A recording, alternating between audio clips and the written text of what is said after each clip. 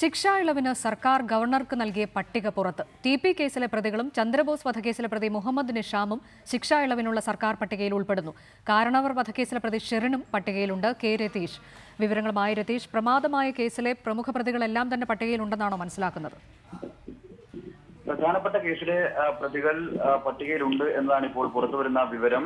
T P കേസിലെ പതിനൊന്ന് പ്രതികളാണ് പട്ടികയിൽ ഉൾപ്പെട്ടിരിക്കുന്നത്. കുഞ്ഞനന്ദൻ കെ ശി രാമചന്ദ്രൻ കൊടിസുനി കിർമാണി മനോജ് അടക്കമുള്ളവർ ഈ പട്ടികയിൽ ഉൾപ്പെട്ടിട്ടുണ്ട് എന്ന വിവരമാണ് പുറത്തു വരുന്നത് ഇതോടൊപ്പം തന്നെ മറ്റ് സംസ്ഥാനത്തിന്റെ മറ്റ് പ്രധാനപ്പെട്ട കേസുകളിലെ പല പ്രതികളും പട്ടികയിൽ ഉൾപ്പെട്ടിട്ടുണ്ട്. ചന്ദ്രബോസ് വധക്കേസിലെ പ്രതിയെ നിഷാമനം ശിക്ഷാ ഇളവിനുള്ള പട്ടികയിൽ ജയിലധികൃതർ ഉൾപ്പെടുത്തി കല്ലുവാതിക്കൽ കേസിലെ പ്രതി ശിക്ഷ അനുഭവിച്ചുകൊണ്ടിരിക്കുന്ന മണിച്ചനെയും അബ്കാരി കേസിലെ മണിച്ചനെയും ഈ പട്ടികയിൽ ഉൾപ്പെടുത്തിയിരുന്നു. ഗുണ്ടാ നേതാവായ ഓം പ്രകാശും പട്ടികയിൽ ഇടം നേടി എന്നതാണ് ഏറ്റവും പ്രധാനപ്പെട്ട കാര്യം. ഒപ്പം തന്നെ കാരണവർ കേസിലെ ശിക്ഷ അനുഭവിക്കപ്പെട്ട ഷെറിനും ഈ പട്ടികയിൽ രണ്ടായിരത്തോളം പേരുടെ പട്ടികയിൽ ഇടം ഇടം നേടിയിട്ടുണ്ട്. ഈ പട്ടിക നേരത്തെ ഗവർണർ തിരിച്ചയച്ചതോടുകൂടിയായിരുന്നു ഇക്കാര്യം വിവാദമായത്. അന്ന് ടി പി എസ് പ്രതികൾ പട്ടികയിൽ ഉൾപ്പെട്ടതിനെ സംബന്ധിച്ച വിശദീകരണത്തിൽ നിയമാനുസൃതമായും തയ്യാറാക്കിയ പട്ടിക എന്നതായിരുന്നു ഇക്കാര്യത്തിൽ മുഖ്യമന്ത്രി നൽകിയിരുന്ന വിശദീകരണം. മാത്രമല്ല ടി പി കേസ് ഉൾപ്പെടെയുള്ള പ്രതികൾ ഇതിനകത്ത് ഉൾ- ഉൾപ്പെട്ടിട്ടില്ല എന്നതായിരുന്നു അന്നത്തെ വിശദീകരണമായി പുറത്തു പുറത്തുവരികയും ചെയ്തത്.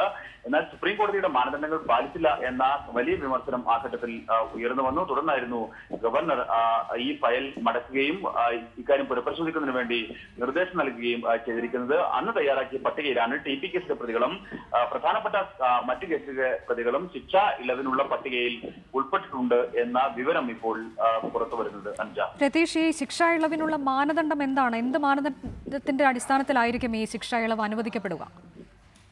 സാധാരണ നിലയിൽ സുപ്രീം കോടതി പുതുതായി പുറപ്പെടുവിച്ച മാനദണ്ഡം ഈ ഘട്ടത്തിലുണ്ട്. ഒന്ന് ഗുണ്ട കേസുകളിൽ ഉൾപ്പെടെ ഉള്ളവർക്ക് ഇത്തരത്തിൽ ശിക്ഷ ഇളവ് അനുഭവിക്കാൻ ശിക്ഷ ഇളവ് നൽകാൻ പാടില്ല എന്ന നിർദ്ദേശം ഉണ്ട്. ഒപ്പം തന്നെ അബ്കാരി കേസുകൾ സ്ത്രീ പീഡന കേസുകൾ കൊലപാതക കേസുകൾ തുടങ്ങിയ പ്രധാനപ്പെട്ട കേസുകളുമായി ബന്ധപ്പെട്ട ആളുകൾക്ക് ശിക്ഷ ഇളവ് നൽകുന്ന രീതി നിലനിൽക്കുന്നില്ല. അല്ലെങ്കിൽ അത്തരത്തിൽ ശിക്ഷ ഇളവ് നൽകാൻ പാടില്ല എന്നതാണ് നിർദ്ദേശം. പക്ഷേ അത് കാറ്റിൽ പറത്തിക്കൊണ്ട് ആ, സംസ്ഥാനം ഒരു പട്ടിക തയ്യാറാക്കി എന്ന് ഗവർണർ തന്നെ സുപ്രീം കോടതി മുൻ ചീഫ് ജസ്റ്റിസ് കൂടിയായ ഗവർണർ തന്നെ കണ്ടെത്തുകയും ഗവർണർ ഇക്കാര്യത്തിൽ ഫയൽ മടക്കുകയും ചെയ്യുന്ന സാഹചര്യമുണ്ടായി. ഇക്കാര്യം പുനഃപരിശോധിക്കാൻ സുപ്രീം കോടതി മാനദണ്ഡ പ്രകാരം ഈ വിഷയം പുനഃപരിശോധിക്കാനായിരുന്നു സംസ്ഥാന സർക്കാരിനോട് നിർദ്ദേശിച്ചത്. സംസ്ഥാന സർക്കാർ ഇതിനായി മന്ത്രിസഭ തന്നെ ഒരു പ്രത്യേക സബ് കമ്മിറ്റിയെ ഈ ഘട്ടത്തിൽ രൂപീകരിച്ചിട്ടുണ്ട്. പക്ഷേ നേരത്തെ തയ്യാറാക്കിയ പട്ടികയിൽ ഉൾപ്പെട്ട ഉൾപ്പെട്ടവർ മാനദണ്ഡങ്ങൾക്കും അപ്പുറമുള്ളവർ അല്ലെങ്കിൽ മാനദണ്ഡം മറികടന്നുമുള്ളവർ ഉൾപ്പെട്ടിട്ടുണ്ട് എന്ന വിവരമാണ് വാർത്തയാണ് പുറത്തു വരുന്നത്.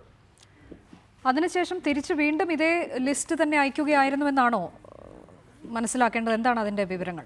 അനുജ ഇതുവരെ തിരിച്ചൊരു ലിസ്റ്റ് ഗവർണർക്ക് നൽകിയിട്ടില്ല. കാരണം ഇക്കാര്യത്തിൽ പരിശോധന നടത്തുന്നതേ ഉള്ളൂ. തിരിച്ചൊരു ലിസ്റ്റ് ഇതുവരെയായി ഗവർണർക്ക് നൽകിയിട്ടില്ല. കാര്യം ഇപ്പോൾ മന്ത്രിസഭ ഇക്കാര്യത്തിൽ എ കെ ബാലൻ നേതൃത്വത്തിലുള്ള ഒരു ഉപസമിതിയോട് ഇത് പരിശോധിക്കാൻ വേണ്ടി നിർദ്ദേശിച്ചിട്ടുണ്ട്. അതിനുശേഷം മാത്രമേ ഇക്കാര്യം പുറത്തു വരൂ. പക്ഷേ ആദ്യഘട്ടത്തിൽ ജയിൽ വകുപ്പ് തയ്യാറാക്കിയ പട്ടികയിൽ ടി പി കേസ് പ്രതികൾ ഉണ്ടായിരുന്നു എന്നാണ് ഏറ്റവും പ്രധാനപ്പെട്ട കാര്യം.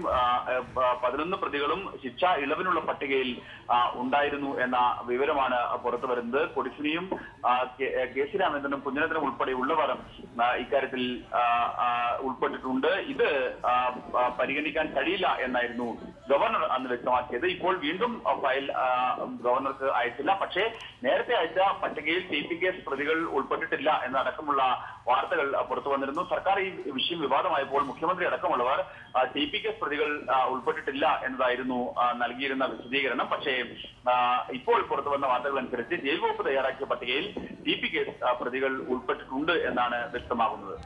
യഥാർത്ഥത്തിൽ ഈ സുപ്രീം കോടതിയുടെ മാനദണ്ഡം അനുസരിച്ചുകൊണ്ട് ശിക്ഷാ ഇളവ് നൽകാൻ കഴിയുന്ന ഏതെങ്കിലും ഒരു പ്രതി സർക്കാരിന്റെ ലിസ്റ്റിൽ ഉണ്ടായിരുന്നോ?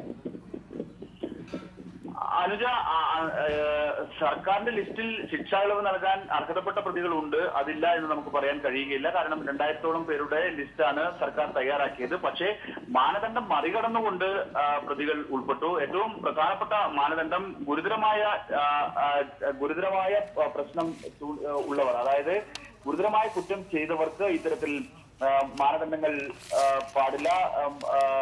ലഹരി മരുന്ന് കേസുകൾ ശിക്ഷിക്കപ്പെട്ടവരുടെ അടക്കം. അതായത് മണിച്ചിലടക്കമുള്ളവർക്ക് മാനദണ്ഡം മറികടന്നുകൊണ്ട് കൊടുക്കുന്നു. മാത്രവുമല്ല സുപ്രധാനമായ കൊലപാതക കേസുകൾ ഗുണ്ട തലവന്മാർ ഇവർക്കൊന്നും ഗുണ്ട കേസുകൾ ഉൾപ്പെട്ടവർ ഇവർക്കൊന്നും തന്നെ ഈ ഘട്ടത്തിൽ ശിക്ഷ ഇളവ് നൽകാൻ പാടില്ല എന്ന് തന്നെയാണ് തീരുമാനം അല്ലെങ്കിൽ അതാണ് സുപ്രീം കോടതിയുടെ മാനദണ്ഡം. പക്ഷേ ഇത് പരിശോധിക്കാതെ തന്നെ അല്ലെങ്കിൽ ഈ മാനദണ്ഡം വിലയിരുത്താതെ രാഷ്ട്രീയ പരിഗണന വെച്ചുകൊണ്ട് ആളുകൾ ഈ ലിസ്റ്റിൽ ഉൾപ്പെട്ടു എന്നാണ് ഇപ്പോൾ പുറത്തുവരുന്ന വാർത്ത. ശിക്ഷാ കാലയളവിൽ തടവുകാരനുണ്ടായ മനപരിവർത്തനം നല്ല നടപ്പ് തുടങ്ങിയ ഒട്ടേറെ ഘടകങ്ങൾ പരി പരിഗണിക്കും. വിവിധ ചെറിയ ശിക്ഷ അനുഭവിക്കുന്നവർക്കടക്കം ഇതിന്റെ ചില ആനുകൂല്യങ്ങൾ ലഭിക്കും. അത്തരത്തിലുള്ള പട്ടികയിൽ തടവുകാർ പട്ടികയിലുണ്ട്. പക്ഷേ അതിനും അപ്പുറം ആ, പ്രധാനപ്പെട്ട കേസുകളിൽ ഉൾപ്പെട്ടവർ ഉൾപ്പെടെ ശിക്ഷാ കാലയളവിന് അല്ലെങ്കിൽ ശിക്ഷാ ഇളവിന് അവർക്ക് അർഹത ലഭിക്കുന്നു. അത് അനർഹമായി അർഹത ലഭിക്കുന്നു എന്നതാണ് ഈ പട്ടികയുമായി ബന്ധപ്പെട്ട് ഇപ്പോൾ പുറത്തുവരുന്ന വാർത്ത.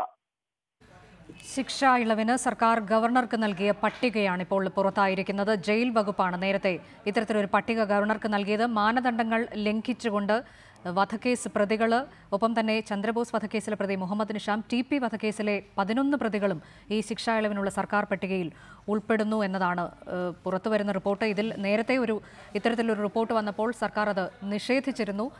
ടി പി കേസ് പ്രതികളൊന്നും ഈ പട്ടികയിൽ ഉൾപ്പെട്ടിട്ടില്ല എന്നായിരുന്നു അന്ന് മുഖ്യമന്ത്രി നൽകിയ വിശദീകരണം. എന്നാൽ ആ വിശദീകരണം തെറ്റാണ് എന്ന് തെളിയിക്കുന്ന റിപ്പോർട്ടാണിപ്പോൾ ലഭിച്ചിരിക്കുന്നത്.